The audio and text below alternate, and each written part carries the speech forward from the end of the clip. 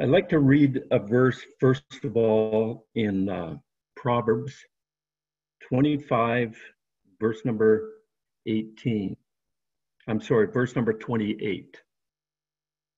It says, A man without self control is like a city broken into and left without walls.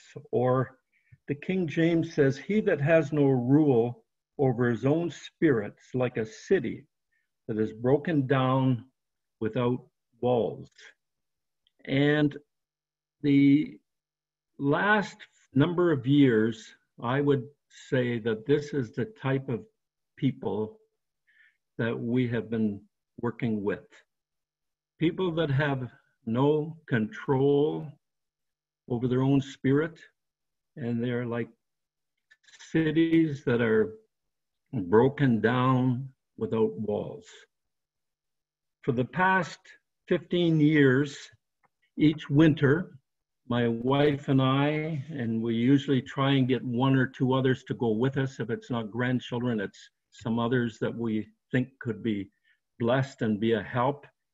We travel uh, in northern Canada up into the Northwest Territories and into the Arctic.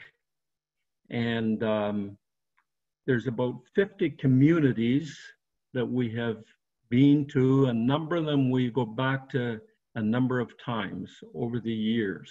So as a result, we get to know a, a few people in some little, in some little measure. When I get to the community, we have a, a winter RV that we park in the town and uh, I go door to door throughout the community and talk to people, give out Bible posters, DVDs, um, via magazines, and um, New Testaments or Bibles, whatever we feel that people can use it. They're very welcoming. Um, this past winter, we went, took 1,400 packages, went to homes, and in all the houses we went to, there was only three people that refused. And the the odd thing was that the one man that refused, I could look behind him on the wall and I could see our posters there from the other year that were still stuck up on the wall. So um, we do get familiar with a, a few folks going to these communities. Um, they are what they call winter roads. They call them ice roads, but the roads we go on are simply bulldozed with a bulldozer they go over the muskeg and they end up um, leaving a road for us that is extremely rough, but we managed to get to these communities. And the nice thing is that Jehovah Witnesses and the Mormons never go, so we have pretty much uh, a fairly warm welcome from the people. Um, 10 years ago, we moved to Prince Albert in Saskatchewan, which is kind of two thirds of the way north in the province. Um, they say it's a difficult city. Well, every place seems to me that it's difficult. There's no seemingly easy spots, but it is considered one of the five most dangerous cities in Canada. Uh, it's probably partly because there's four prisons in the city. There's only 35,000 people, but there's a maximum penitentiary. There's a uh, women's prison, there's a general population prison, and there's a youth detention center. And my wife and I take the services quite often in the women's prison. They want us, we could go a lot more, but they want a couple. So a husband and wife, and it's very rare to find a husband and wife that will um, work in the prison when we do go there, we know many of the people that um, we have met on the streets. So we know already a number of the people that are there. The city of Prince Albert, though it only has 35,000 people, it serves an area, a population of about 160,000, which is the people from the north that came down to Prince Albert, which is the, the nearest city. When we park the trailer on the street, we haven't been able to do that in the last, since this COVID thing.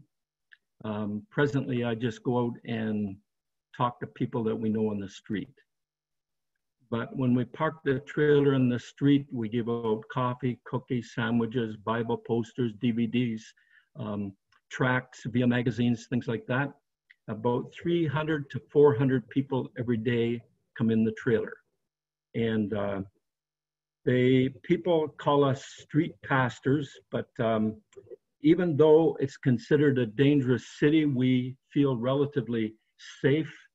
Um, just recently, a fella in the trailer, I wasn't in the trailer, I was just up the, talking to somebody up the street, and a fella kind of, I won't say attacked my wife, but pretty close to it.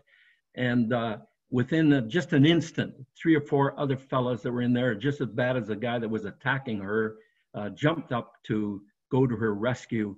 So we were encouraged by that, that they seem to appreciate you and they are certainly happy to, to defend us.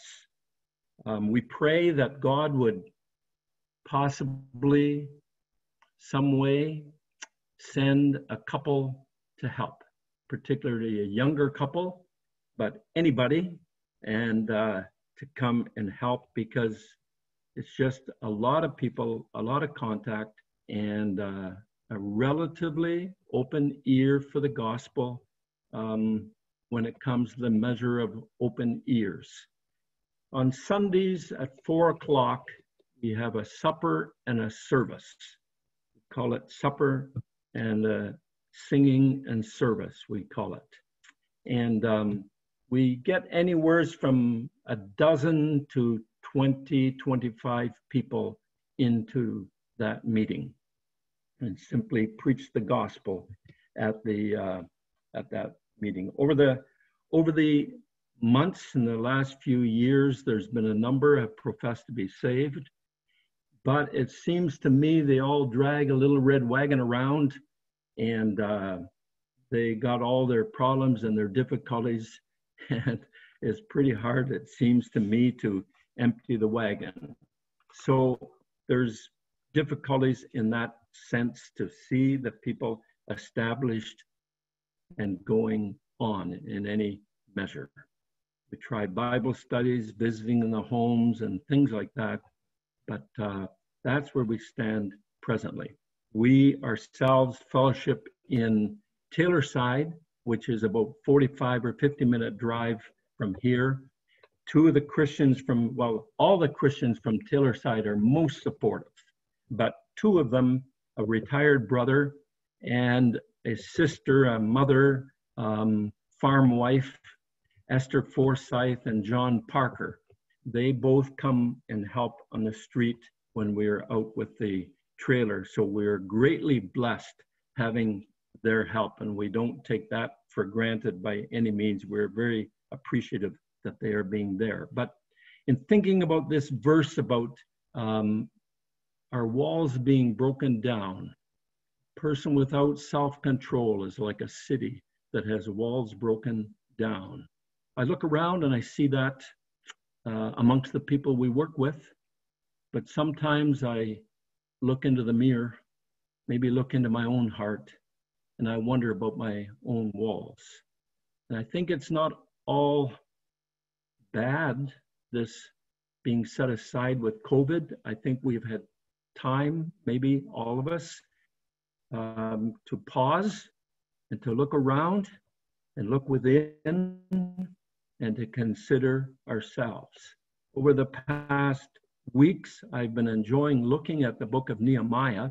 And I'd like to read a few verses from Nehemiah, a number of verses, and give a few thoughts that I've been pondering uh, from the book of Nehemiah. We could read in chapter one of Nehemiah, and I'll begin at verse number one.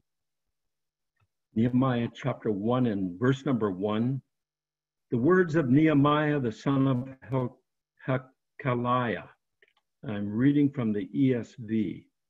Now it happened in the month of Chislev, Chislev, the 20th year, as I was in Susa, the capital, that Hanani, one of my brothers, came with certain men from Judea, from Judah. And I asked them concerning the Jews who escaped, who had survived the exile and concerning Jerusalem. They said to me, The remnant there in the province who had survived the exile is in great trouble and shame. The wall of Jerusalem is broken down and its gates are destroyed by fire. As soon as I heard these words, I sat down and I wept and I mourned for days. And I continued fasting and praying before the, the God of heaven. Verse number 11. O Lord, let your ear be attentive to the prayer of your servant and to the prayer of your servants who delight to fear your name, and give success to your servant today, and grant him mercy in the sight of this man now I was cupbearer to the king. In chapter 2 and verse number 3, I said to the king, Let the king live forever. Why should not my face be sad when the city, the place of my father's graves, lies in ruins and its gates have been destroyed by fire? Then the king said to me, What are you requesting?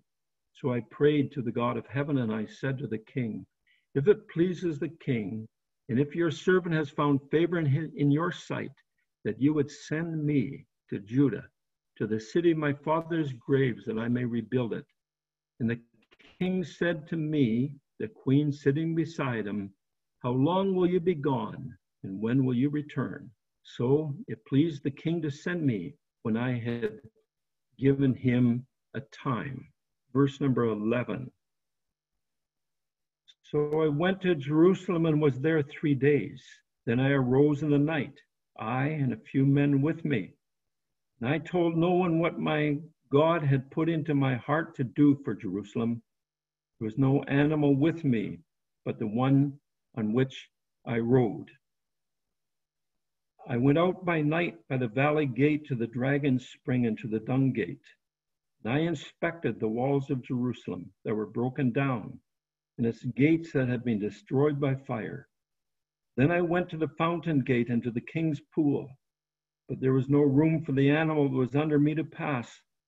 Then I went up in the night by the valley and inspected the wall, turned back and entered by the valley gate, and so returned. Verse number 18. And I told them of the hand of my God that had been upon me for good and also the words that the king had spoken to me. And they said, Let us rise up and build. So they strengthened their hands for the good work. Chapter 3 and verse 1. Then Eliashib, the high priest, rose up with his brothers, the priests, and they built the sheep gate. And they consecrated it and set its doors. They consecrated it as far as the Tower of the Hundred, as far as the Tower of Hananel and next to him the men of Jericho built. Next to them Zaccur the son of Imri built. Sons of Hassenaah built the fish gate. They laid its beams and set its doors, its bolts, and its, and its bars. The events in Nehemiah take place relatively late in the Old Testament history. Um, Israel and Judah, they no longer exist as nations. Um, the 70 year Babylonian um, exile has come to an end. Persia has conquered the Babylonian Empire, and the Persians were allowing the people of Israel to return back, the Jews to return back to their own country, to their own uh, place. And many of them returned with Zerubbabel and many went back with Ezra. Some suggest about 50,000 returned, but they also say that was 2 or 3% of the total number that, had been originally taken captive. But in that city of Jerusalem, Ezra had rebuilt the temple, but the walls still lay in ruins. And it's a hundred years after Nebuchadnezzar had destroyed the walls, and for a hundred years, those walls have laid in ruins. I think we could say a hundred years is a, is a long time. The people have been back, the temple has been built, and uh, they had made an attempt at building the walls, but it never got off the ground. And so there they were. And in Israel's day, a city's walls would have been visible for many miles. And it was a place of safety, a place of contentment, a place of comfort, a place where you could be relatively secure in that land, but a city without walls. My, the enemy could just walk in and they could simply um, walk into that place. And Hanani left Jerusalem. He seems to be the brother of Nehemiah, and he travels down to Susa, and he comes to the capital, to the city of Susa, and he finds his brother Nehemiah.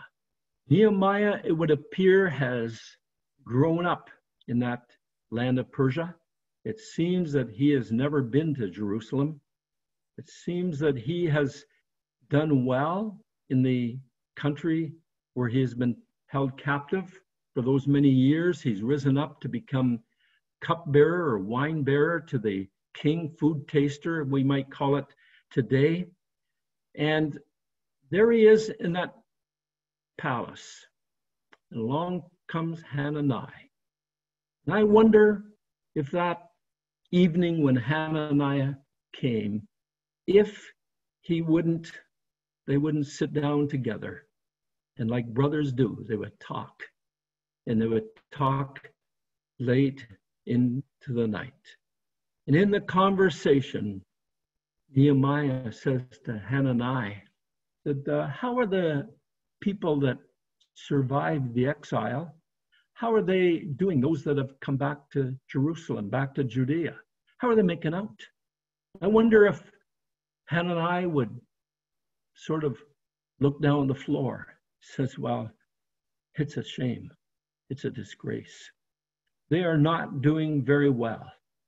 The walls are broken down. Oh, the temple is there, but the walls are broken down and the, the gates have been burned with fire. It's an absolute shame. It's a, a joke as far as the surrounding nations are concerned. And when Nehemiah heard those words, we read that he sat down it would appear that he had no more strength. He was overwhelmed by sorrow and sadness. And Nehemiah, we're told he wept and he prayed and he fasted and he mourned. And as he wept and prayed and fasted and mourned, he didn't do that just for a day or two. We read that it was for four long months that he continued in that distressed state of mind, praying to the God of heaven. And as he's there praying, back in Jerusalem, the people have become content. They're, they're content with the way the walls are. They've walked past them so many times, they don't even see the rubble anymore. Something like my wife, she sometimes says, Steve, if if I kept your my my kitchen the way you keep your garage, well, I wouldn't even be able to make a meal. But um, my garage is not that bad. But nevertheless, um, these people have been walking by the trash day by day, and it's not even bothering them. And I, in reading that, have asked myself the question Is it possible, Steve, that you can be walking by the trash. Your walls are broken down. They are not what they ought to be. They're in a shambles. And it's not been like that for a while. It's been like that for a long, long time. And I wonder how long it's been since I was like Nehemiah, that I would sit down and weep and mourn, fast and pray to the God of heaven as I look at my walls. What are our walls? You know, a city with walls broken down is a man without a self control is like a city that's got its walls broken down. Well, what are my what are my walls, my spiritual walls? What are they? Well, I think we could say they're a thought life. And where do I go from there? I listened on the radio recently, some time ago, to a man. He was speaking about Solomon. He was speaking about Solomon and his wives and concubines, hundreds of them, hundreds of them. And he said, you know, we look at Solomon and we think, Solomon, how could you do that? How could it be possible? He said, what about in speaking to men and his whoever they were in his audience? He said, what about us as men? What have we had in our minds? What thoughts? How many, how many times have we been like Solomon? Oh, we didn't have them physically, but the thoughts. And I wonder about sometimes about the thoughts in my mind, immoral thoughts, thoughts of bitterness, thoughts of unforgiving, unforgiving attitudes towards others. And my walls are broken down. And maybe they've been like that for a good long time. And I've never gone out to examine my walls. And in this period of shutdown, I've been trying to examine my walls. And you know something? I'm afraid of the condition that my walls are in. But that's our thought life, our testimony before the world, before others, before those that we cross paths with, those that we, we meet. How am I when it comes to irritation? How am I when it comes to patience? How am I when it comes to my children and grandchildren? We have a family over to visit us, trying to help them. And they've got three children. I put it mildly, the children have got a lot of room for improvement. My wife says, you know, maybe the Lord's using it to teach you a little bit of patience. And I wonder how is how am I managing when it comes to my Christian testimony before the world, my conscience. Another wall. Is it based on the Word of God? Is my conscience based on what people think, but what others do? And so I try and just go along with what they think or say or do. Is that my conscience based on that? But maybe another wall that I've been considering my own life, my character. I heard someone say one time that he felt that the best description of character is when you or I are allowed or taken or put, we have occasion to be in some far off city, New York or Boston or, or San Francisco or some place where nobody knows us. We're all by ourselves. Then how I behave, how I act, what I do. It'll be based on my character. My character, to a great extent, is based on my conscience. Is my conscience seared before God? Is it hardened? And is it softened in light of the Word of God? So, as we look at the walls, um, Nehemiah looked at the walls and he's broken down with sorrow as he examines, as he just considers the walls, as he thinks about them and the condition and the shame associated with it. How do I take and rebuild the walls? Well, Nehemiah, he wept, he mourned, he prayed, he fasted for four long months. And I ask myself, when have I truly known what it is to mourn over my sin? Blessed are those that mourn, we could say, over our sin, they shall be comforted. And there's Nehemiah mourning. He doesn't point the finger at everybody else, he points the finger at himself. He says, We have sinned. I and my father's house have sinned. We have done corruptly. He takes and he puts himself in the very same thing, he begins to look at himself and he doesn't blame it on anybody else. He looks hard and fast at the difficulty and he puts himself into the same group. We, us, ours. He prays for opportunity to do something about it. He asks God to help him to do something about it. And I need to be praying and asking God, what can I do about the walls in my life and the walls that are around, around my, my life? He comes before the king. It's interesting to me that Nehemiah has been a happy man because the king has never seen him sad. And when he comes before the king, the king says to him, Why are you sad? Uh, you're not sick. This is nothing but sorrow and sadness of heart. And Nehemiah is afraid, possibly afraid that that uh, Exactorus, or however I pronounce his Artaxerxes, however I pronounce his name, maybe um, Nehemiah is afraid that he'll think that he is devising some evil towards the king. But Nehemiah says, Well, how can I not be sad? The city of my father's graves, the walls are broken down, and the gates are all burned with fire. And he says, How can I possibly not be sad? The king says to him, with his the queen sitting beside him, he says to him, uh, What are you requesting? What are you asking? What do you want? And Nehemiah prayed to the God of heaven.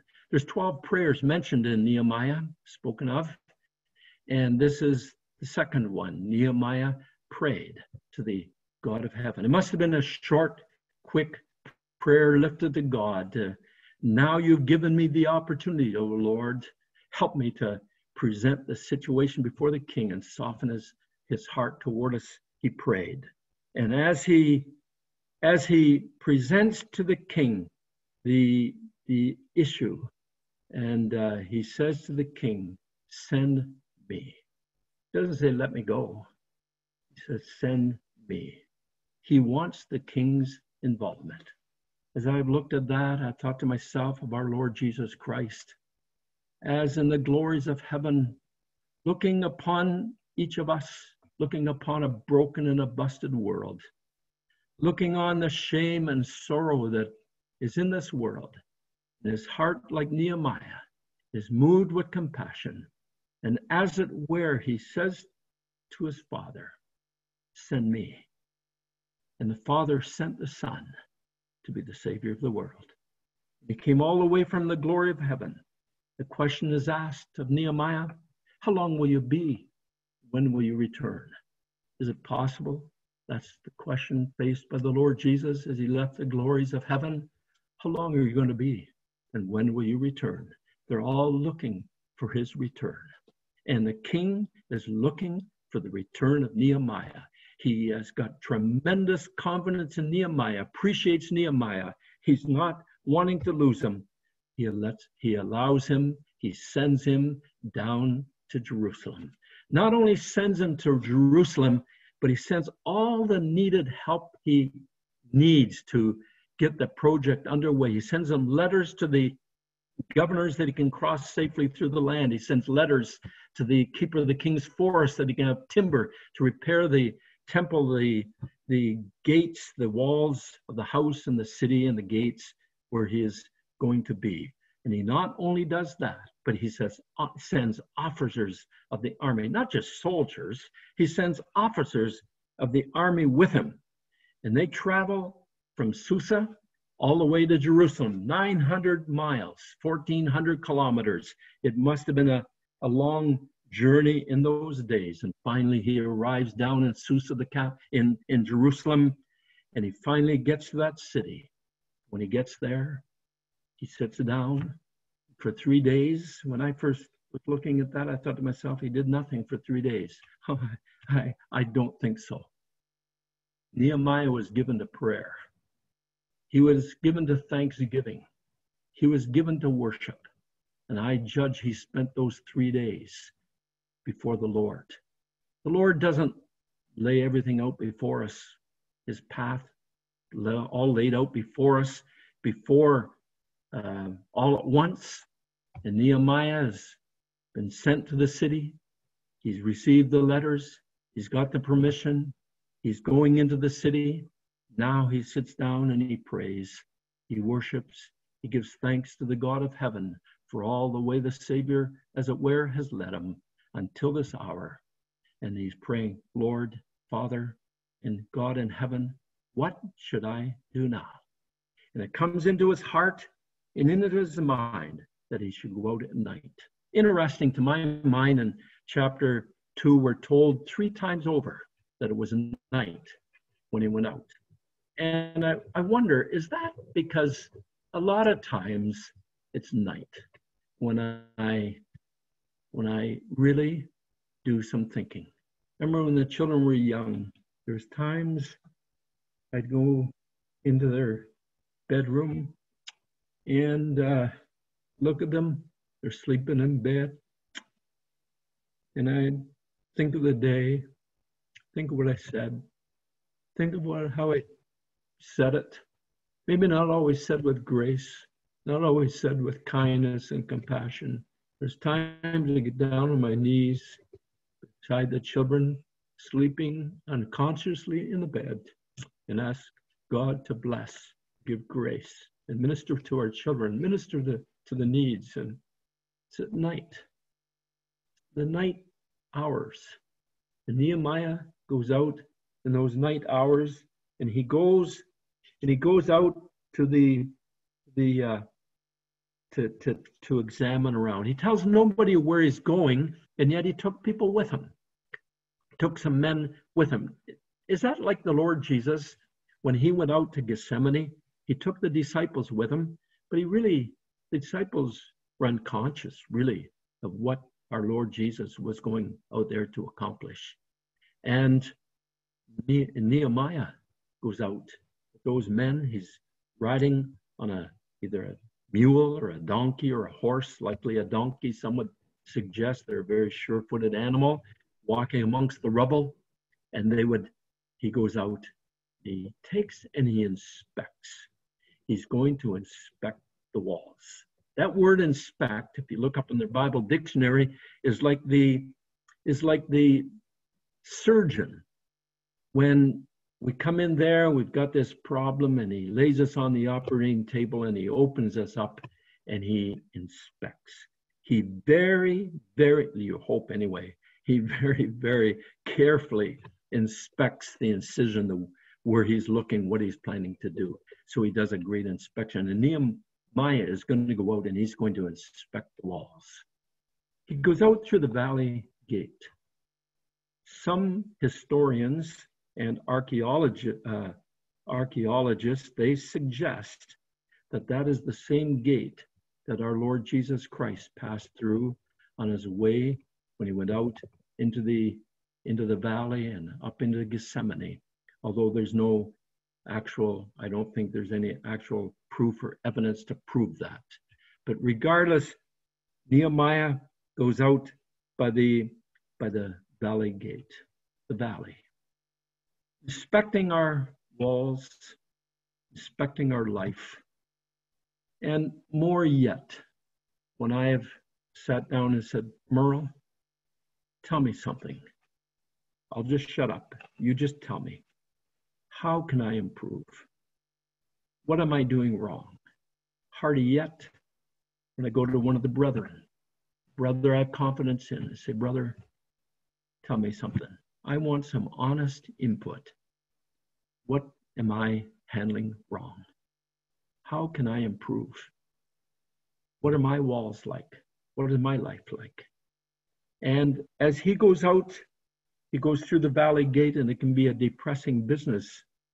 I've asked our girls when they were younger, particularly, sit down and write me a letter and tell me, just tell me what you're thinking what your thoughts are about me, about how I've handled things, what I've done. You know something? I've got a big file and not a big file. I've got a file in the, the room. Some of those letters are in it. Sometimes it hurt. As we examine the walls, and I believe that every last one of us need to sit down. In this time when we're set aside, we need to sit down and examine the walls. And he inspected the he inspected the walls like a surgeon. He goes out through the valley, we say through the valley gate, but there was no gate. It's all burned with fire. It must have been a depressing, sad, sorrowing moment for him as he went out and goes through that burned down, burned down gate. And he inspects the walls. Then he goes a little farther. We read in chapter 3, we find that the valley gate was 1,000 cubits from the dung gate. And Nehemiah goes on his donkey at least a great extent towards the dung gate. And finally, the rubble is so deep, he has to leave his animal, if it was a donkey or a horse, whatever it was, he has to leave his animal. Then he has to go on foot the rest the, the way that he's going. And he comes to the dung gate. Well, what's dung gate? Well, if the valley gate is a valley of inspection, and it's great that our Lord Jesus Christ down there is the lily of the valley, and it's a wonderful thing we find in the valleys, we find creeks and we find water, oftentimes down in the valley, but nevertheless, it's a place of shadows, place of darkness it can be. The dung gate, what's the dung gate? Well, the dung gate, you never brought anything in the dung gate. Everything went out. And yes, the gate was burned with fire as well, but that gate, everything went out that gate. Nothing came back into the city. It was for dung. It was for refuge, garbage, trash, everything else that they threw down into the Kidron Valley and burned down there in the Kidron Valley, the dung gate. You know, you and I have things in our lives. Should I speak for myself? Things in my life. Things that need to go out the dung gate. Things that need to go out and not come back in. Let all bitterness, let all bitterness, anger, clamor, slander be put away from you and be put away from you with all malice. Ephesians 4 and 31. There's things we're told in the Word of God that need to be put away from us, put out of our life, out the dung gate. And we need a gate that is going to be put up to keep the stuff from coming back in. Because how easy it is to go out and pick through the garbage and uh, bring stuff back in. But then finally, he leaves the dung gate. And if you look on the map of the Jerusalem, the old walls of Jerusalem, which you can see the maps and maybe in the back of your Bible or in, in uh, um, commentaries or books, it shows that the, that the fountain gate is on near the bottom of the city, a thousand cubits from the from that uh, dung gate. But the nice thing is the fountain gate is real close to the dung gate, just a few, we might say, yards apart. They're close together. And what is the fountain gate? Well, after we've been in the valley, we've been inspecting the walls, we've seen the sad condition in the valley gate, we've come to the dung gate, and that which is should be put out of our lives is put out by the grace of God, the help of the Holy Spirit, because we can't do it on our own. And it's put out. Then we come to the fountain gate. If ever there was a gate that is a picture of the Holy Spirit, if any man thirst, the Lord Jesus said, let him come unto me and drink. And we come to the fountain gate, and there we find refreshment Lord Jesus said, Without me, you can do nothing. And we come to that fountain gate, a place of refreshment, a place where we were strengthened. And Nehemiah certainly recognized his tremendous need. And then Nehemiah, says, he turned and he went back.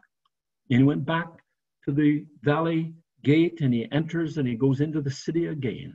And it doesn't tell us when, but possibly the next day or very shortly hereafter, he goes to the to the Jewish people. He goes to the officials and priests and the nobles. And he goes to them all and he sits down before them and he says, We are in great trouble. We have got great problems, great shame. We, we, not you, we. He's never even been there before. He wasn't responsible for the breaking down of the walls, but he puts it, we. But he tells them of the good hand of God that has been upon him. And he tells them about Susa in the capital. He tells them about King Artaxerxes, how King Artaxerxes has responded and sent him down here to the city. And he shows them the letters. He lays it all up before them. And he said, We need to rise up and build. And those people that day, God bless them. They all agreed with him. And with one tremendous, total, complete, unanimous decision, they rose up and they rose up to build with a purpose of heart and a determination. We are going to build. And they rose up to build. But as you rise up to build, there is Sanballat and there is Tobiah. And they are standing in their way. And you can read about all the opposition that Sanballat and Tobiah and the Arabs gave in trying to hinder building up the walls. And you know, we are in the same condition, we might say. All the Sanballats and all the Tobiahs, they're not all dead yet. Uh, there's lots of them around the world. Flesh the dev- devil certainly stand in our way, and there's tremendous opposition standing in our way because of the flesh and the world and the devil. But Nehemiah and those people were determined by the grace and help of God, and that wall was built and finished in 52 days. And even the enemies had to look on and they had to say, you know, the hand of God has been in this. It's been the hand of God that has that has done this. They started, we read in chapter three, they started there uh, at the sheep gate. That's where you and I are going to get our start. First in salvation was at the sheep gate. It was when we came to appreciate the work of Christ, when we came to appreciate and understand and put value, and it was revealed to us by the Holy Spirit that Christ died for our sins and he met our need at Calvary. and dwelt by the Holy Spirit, now we can move on. And day by day, we need to go back to the sheep gate. And it's interesting to me that the sheep gate is the only gate that no bars and no locks are mentioned because the sheep gate's always open. And it's open at all the time to go and find strength and, and help at the at the sheep gate, and it's the only gate that is mentioned that was sanctified. And those at that sheep gate, they worked, they worked diligently, and they worked hard.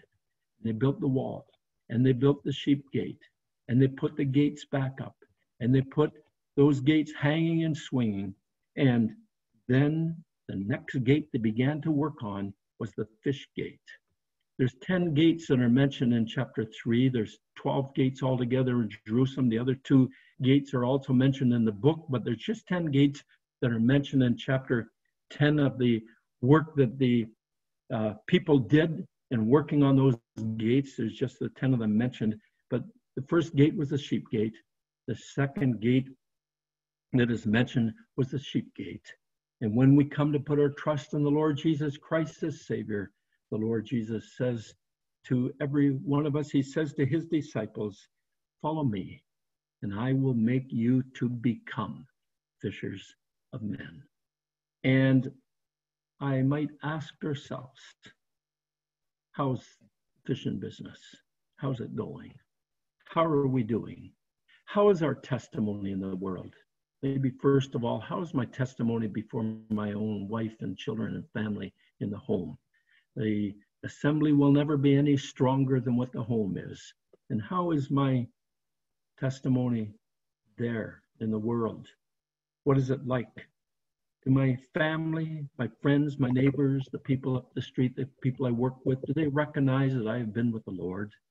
Do they see something in me that is different than all the people that are round about? I read a survey some time ago that said, if it can be believed, although I looked up and other surveys suggest the same thing, that 98%, that's 98% of Christians, it didn't say professing Christians, it just said Christians, 98% of them do not bear witness to their faith with family, friends, neighbors, workmates. Wow. We look around and we see the world increasingly, alarmingly getting dark in an alarming fashion quickly. And uh, I think, well, it's so dark. I wonder why. Well, darkness, we learned in school, was an absence of light. And I wonder if every one of us as Christians um, allowed our light so to shine in this world, it'd be a great, maybe there'd be more light in the world. Wouldn't be so dark in North America. Maybe it would change some things. I know we're in the last days. I know Jesus is coming back. We profess to believe that. But nevertheless, if we were all diligently seeking as God enables us, and I know everybody's not a preacher of the gospel or anything like that, but if we were just able to let our light so shine before men, I like what a brother used to pray. Uh, Reynold Jensen, his name was, and he said, Lord, help us to take the bushels off our off our candles because we're prone to putting our light under a bushel. And I read as well that if you have a little candle, you put it out in a pitch dark night, that that candle can be seen for 50 kilometers. Now that's a long way. And if it can be seen such a long distance, most of us are pretty dim bulbs. And maybe if we just let our light so shine in such a small little way, then we would certainly have light in this world. In the years that I have lived, 70, 76 of them, in all those years, I've only had two people who didn't know me come and talk to me in conversation, asking me, bringing the gospel before me, bringing salvation before me, not knowing that I was a Christian. The first time was well over 50 years ago, maybe 54 or 5 years ago, unloading a truck in Simcoe, Ontario, throwing stuff off the truck to a guy that was catching it on the ground. And he stopped on that hot day and he wiped the sweat off his brow and he says, Hey, sir, I want to ask you something. I said, Oh, yeah, what? He said, Are you saved? It was Paul Fletcher. He met at the at the Simcoe Bible Chapel in Simcoe, Ontario. But Paul asked me, but in all the years until just a few weeks ago, I was in getting a part for the lawnmower. And uh, the fellow selling the parts, he says to me, You know, he says, we got a lot of troubles in the world, eh? Not only with COVID and the virus and all this stuff, but there's troubles everywhere you look. And he says, Into the great thing, you know, person can have peace with God through the Lord Jesus Christ. And he started to tell me how he had trusted Christ as Savior. And he started to tell me about the gospel of the Lord Jesus Christ. And I think that maybe of only two people in all those years, possibly that's a suggestion to us that the that the um, that the survey wasn't so far out that 98% of us don't say very much. So God bless us and uh, um, help us that we might look at our walls and consider it. And there's um, eight more walls that I didn't mention, but in the book of, in the third chapter here of Nehemiah. And I think all of them are a tremendous example to us, uh, have a story to tell, each one of them, of our life, our walls, our gates, to build them up, stand firm in the dark world, under temptation and opposition, we might stand firmly before the Lord. Ask God's blessing, we pray. Our Father, we give thanks to you for the goodness of the Lord showered upon us, mercies from above. We're thankful, our Father, that we have ever, by the grace of God, been brought into the family of God and been linked eternally with the living God through our Lord Jesus Christ. Father, how blessed we are. Thank you, Father, for your people. How poor we would be without them. Thank you, our Father, for everyone that is um, saved by your grace and just seeking in our little way to live our lives to bring honor and glory to the name and person